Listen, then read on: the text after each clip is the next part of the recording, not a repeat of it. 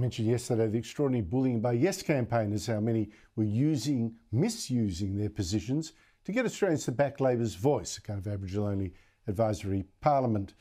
One example Christian churches have been urging Christians to vote yes. It's obviously the Christian thing to do, without them actually offering any real concrete arguments about how this voice makes anything better. Recognising that it was an important step in reconciliation, uh, that uh, it was for the well-being of uh, Aboriginal and Torres Strait Islander people, mm. and um, uh, committing to learn about the voice and encouraging uh, Sydney Anglicans uh, to give generous consideration to voting yes.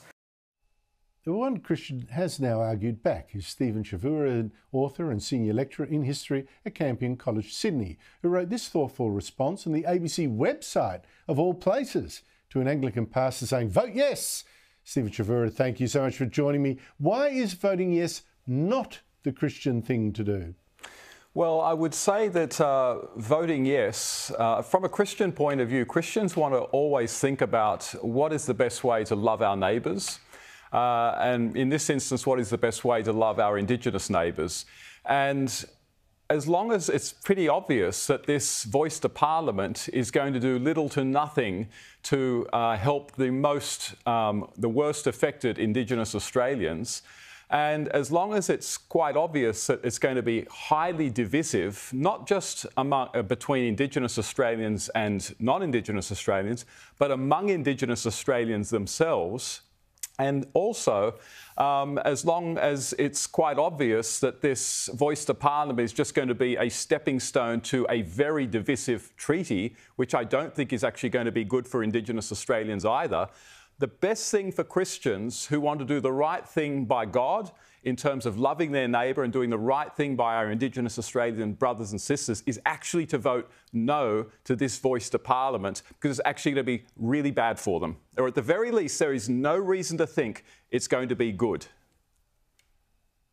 And don't forget, uh, St Paul told uh, worshippers that uh, everyone was equal uh, within the church, slave man or free, Roman or whatever, uh, all one before the Lord. And that says to me, do not divide by race.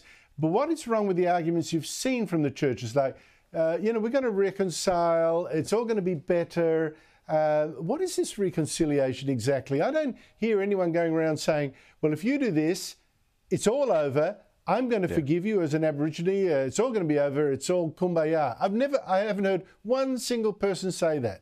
Yeah, well, Christi- uh, Christian reconciliation is about reconciliation through God, through repentance, so through saying sorry for our sins, and then God uh, actually forgiving us and that being made effective by the work of Jesus on the cross. It's available to all people, and all people need it. In the case of national reconciliation, um, that's pretty tricky because when we think about reconciliation, we tend to think about sort of two individuals or two sort of small groups uh, reconciling after something bad that's happened. But when you're talking about reconciliation on a national level between uh, the Indigenous Australians, who themselves are not a united group, uh, they are divided into tribes which do not always um, get along with one another and they don't speak for one another. And then on the other side, you've got non Indigenous Australians who also are not united in any way, sort of ethnically, religiously, ideologically, or anything like that. What exactly does it mean to have them reconciled? So, the whole concept of reconciliation, I think, is actually really problematic at the national level. And I actually think, Andrew, that the best thing for the churches and for Australia to actually do is, in fact, to stop talking about reconciliation. Because as long as we keep saying things like we need to be reconciled, or as Archbishop of Sydney, uh, Kanishka, um, um, Kanishka Raffel said, you know, uh, we've got a long way to go to a reconciliation. Uh, what, is what people are basically hearing is we are not reconciled. And some people will interpret that to say we are at enmity with one another. We are enemies. We are at war. This is and, so false. And so the, the problem with this is so false. Yeah. And Stephen, as you put in your article, right? Um, after what is it? I can't remember how long we've been on this reconciliation movement with billions of dollars, etc., etc. Twenty years, thirty years. Oh yeah. How can we not be a little bit more reconciled than we used to be? In fact, looking around, it seems we're more divided than ever. That should uh, make people uh, stop and, and think. Well, every year it seems that the debate on reconciliation gets, reconciliation gets more and more acrimonious, and it doesn't seem like anything uh, makes it better. So, you know, 43% of the Australian landmass comes under native title. There's been a national apology. Um, Indigenous issues infuse the school curriculum.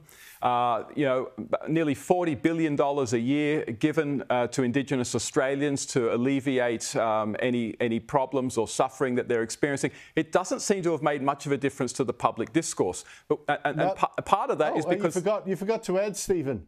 You forgot to add the endless welcomes to con- welcome to yes. countries. We feel less welcome than ever. Stephen Correct. Chavura, yep. I urge people to read your piece on the ABC website. It goes and it expresses it beautifully. Thank you so much for your time.